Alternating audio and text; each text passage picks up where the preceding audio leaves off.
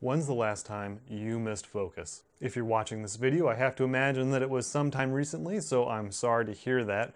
For me, it was Halloween. I was taking pictures of my niece and nephew in their Halloween costumes with my 85 1.8G, and I noticed that nothing was in focus.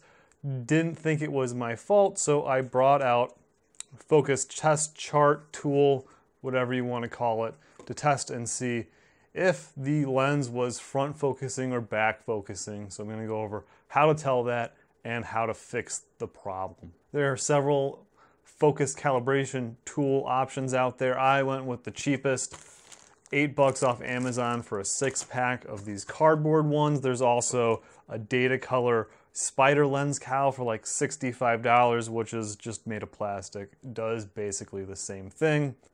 I will have links down in the description below at where you can purchase these or the other options. They will be affiliate links. Any purchase you make through those links, I get a small percentage. Helps me out.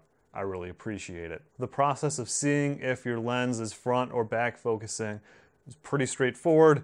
You just fold up the chart or use whatever you have, set it down on a flat surface, focus on the center portion, and then look at the results and see what is in focus and what is not in focus. So I'll go and put up uh, the first image that I took, very attractive. And then if we zoom in one to one, we can see that the area in focus is actually well in front of the target. Now that we know that the camera is front focusing, we want to go to the setup menu. This is for Nikon. I'm sure there's a way to do it for Canon and this is only an issue with DSLRs as the autofocus sensors aren't in the same place as the actual camera sensor. So go down, third menu for me on my D750, there's autofocus fine tune, and going into there, can see that it's on and it has a saved value for this lens, and I have had to move it back to plus 20 because of how far forward my camera was front focusing and just move it up and down.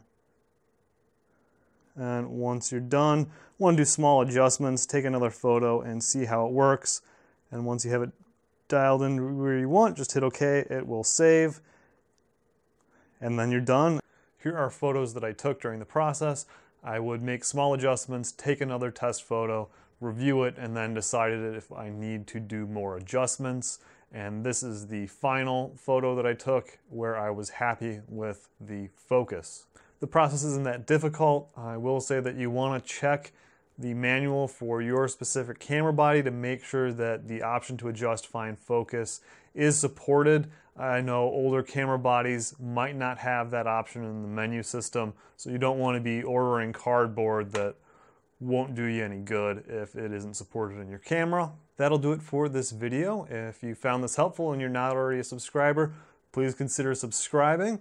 I'll have more videos in the future, mostly uh, nutty vintage stuff that I find that there's just no videos on YouTube and I have difficult time tracking down information on them, but also uh, macro and occasional helpful topics like front or back focusing.